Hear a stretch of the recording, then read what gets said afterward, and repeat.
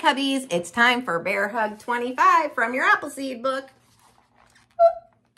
We're almost finished. Now, we've been learning about how God sent the Savior, and the Savior is Jesus. J-E-S-U-S, J-E-S-U-S, J-E-S-U-S. Jesus is a Savior. And our last few lessons have taken place in the water. Remember? John was baptizing Jesus at the Jordan. You remember that one? We just learned that. And then we learned about how some men were fishing and they didn't catch any, but then Jesus told them to go back out and then they caught a whole bunch of fish. And then Jesus told them to follow him and he would make them become fishers of men. Yes, they were his disciples. Well, now from the book of Mark, chapter 4, and Mark is the second book in the New Testament, we're going to have our next lesson in the water, okay? And even our memory verse comes from that very same book. Oh, okay. Well, have you ever been in a storm? Because that's what our lesson is about, a great big storm.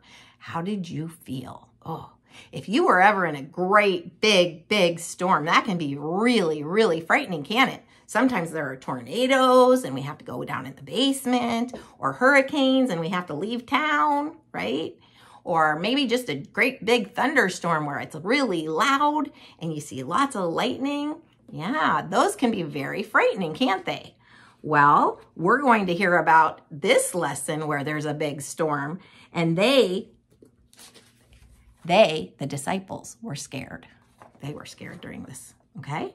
Well, one day Jesus was teaching people by the sea and he sat in the boat by the water, right in, into the water so that the people could all hear him. And he taught them and taught them and taught them until the sun came down.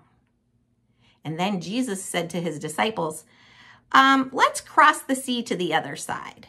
So the disciples and Jesus left the crowd of people and set sail on the Sea of Galilee. At first, the wave, the sea was quiet and calm, and Jesus and his disciples, they sailed along on gentle waves. Can you sail along on gentle waves just like this? Oh, a soft breeze blew over the waters. Everything was peaceful, which was probably really great for Jesus and the disciples after their long day, right? And can you guess what Jesus was doing on the boat? Well, they were going really quiet and rocking along. Jesus was sleeping. He was sleeping on the back of the boat on a cushion.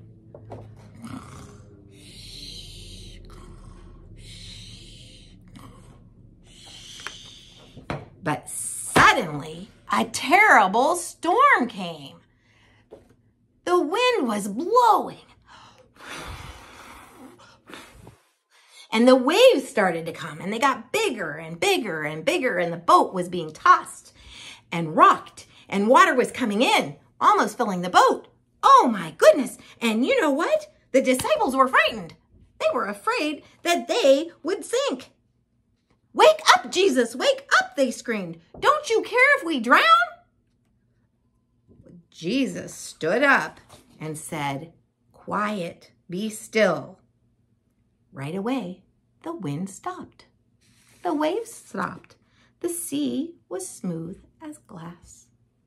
The storm was gone. Jesus said to his disciples, Why are you so afraid? Do you still not believe in me? The disciples looked at Jesus with great big eyes. They were amazed. They had never seen anyone stop a storm. They asked each other, Who then is this that even the wind and the sea obey him? Cubbies, have you heard the disciples' words before? Those words that I just read your memory verse from this week. Let's say it together. You ready? Mark 4, 41. Who then is this that even the wind and the sea obey him? Cubbies, who is Jesus? Who is Jesus? Jesus is God's son. That is right. Jesus is God's son, the Savior. Not only that, Jesus is God. Only God could make the wind and the waves obey. Why? Because he created them in the first place. The disciples were amazed by Jesus. He had power over the stormy sea. They should have never been scared because Jesus was with them. Sometimes we feel scared too, don't we? Maybe it's nighttime and we hear a strange noise in the dark, or maybe we feel scared because someone we love is sick. But we don't ever have to be afraid because Jesus is always with us. And when something scary happens, we can trust Jesus because he loves us and cares for us. Jesus is with us. And when something scary does happen, what can we do? Well, maybe we could pray. Ask Jesus for help. Help ask Jesus to help us to trust him. We can ask Jesus to save us from the situation. We could sing songs praising Jesus or reminding us that he loves us. Jesus loves me, this I know, for the Bible tells me so. You know, if we're in danger, we should try to get to a safe place, right? If we can. And we should pray. Jesus loves us when we loves it when we pray and we sing to him. And the Lord Jesus, he is our savior. When he lived on earth, he calmed the stormy sea and he did many other amazing things that we can read about in the Bible. He did all these things to show that he was God's son. He is God's son, the Savior. So let's pray and thank God that we can trust him. Clap, clap, clap, hands on your lap. Dear Lord, thank you so much that you are powerful and that you are in control of even this, the wind and the waves.